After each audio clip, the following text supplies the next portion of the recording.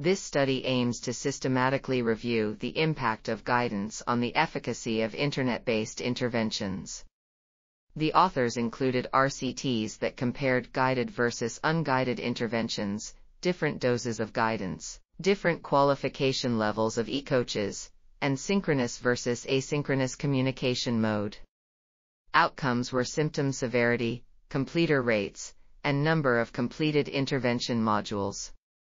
The authors found that guided interventions were significantly superior to unguided interventions in terms of symptom severity, completed modules, and completer rate. However, the effect size was smaller than previously reported when compared to unguided interventions.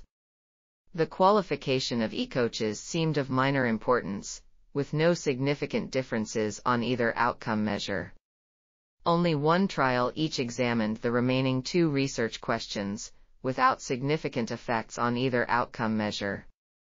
The authors concluded that guidance is a beneficial feature of internet-based interventions, although its effect is smaller than previously reported when compared to unguided interventions. Methodological limitations need to be considered when interpreting these findings. Overall, the number of studies was small and mainly limited to depression and social phobia, restricting the generalizability of the findings. This article was authored by H. Baumeister, L. Reichler, M. Munzinger, and others. We are RTCL.TV, links in the description below.